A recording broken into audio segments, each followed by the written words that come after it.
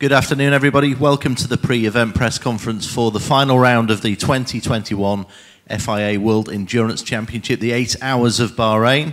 We're going to start today with Neel Jani from Porsche GT team in the 92 car. Neel, great to see you. Hope you had a few nice days off relaxing after last Saturday's race. Joined this weekend, of course, by Michael Christensen. So three drivers in the 92 car. We're starting with the Pro class because it's it's the closest in terms of the title battle lots to look forward to this weekend. Um, another great win last weekend, third victory of the season, and by quite a margin. Um, we start again though. What are your feelings for the programs that you're going to be running in free practice and how the weekend's going to pan out in terms of pace this weekend? Well, I think uh, this weekend the heat obviously is less of an issue. So for us, rear tire degradation was was a big thing, um, especially in the first four hours last weekend. Here we think the first three hours will be hard, and then it will just get better and better. And uh, in terms of pace, obviously also just getting quicker and quicker. So we do think we'll uh, we'll see quicker lap times this weekend, just due to the nature of uh, track temperature. And in terms of Ferrari's pace, are you expecting that to, to really come to the surface with the cooler conditions, as you mentioned, particularly tyres, which are, are crucial over stint lengths during the race? Well, I guess that's the mystery, you know, what, uh, what they want to show or what they want to do.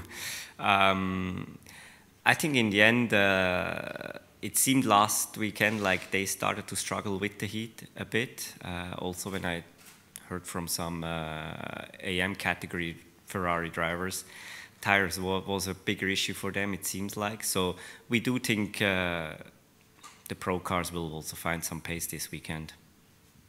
And what was uh, what was Michael doing last weekend? Was he back at base on a sim, or was he in contact with you, understanding how the car was performing and how things were going in that race before he came here? I guess every little bit of knowledge uh, helps. I think he was watching Netflix or something at home. um, you know, he's he's so experienced on on these cars. Uh, nothing to explain to him. Um, him and Kevin have won the race last year here, the eight hours.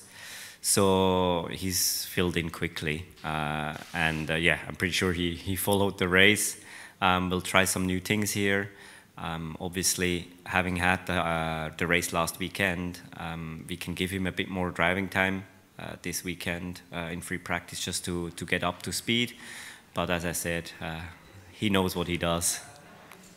Obviously, the sister car, the number 91 car, not in title contention. Do you see that car and also the 52 Ferrari being uh, equally as interesting in terms of how the race might proceed in the latter stages of, of Saturday's event?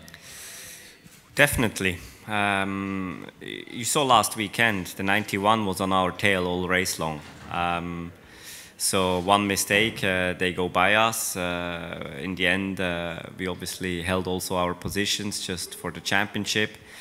But they have the pace, and this weekend uh, our main target is just to stay ahead of 51 because that will uh, give us the title uh, in the drivers' championship, and then for the manufacturers' championship, obviously it gets a bit more complicated, but yeah, uh, all four cars will count this weekend because it's, I mean, it's one point difference in each the manufacturers and driver championships, so it will be interesting.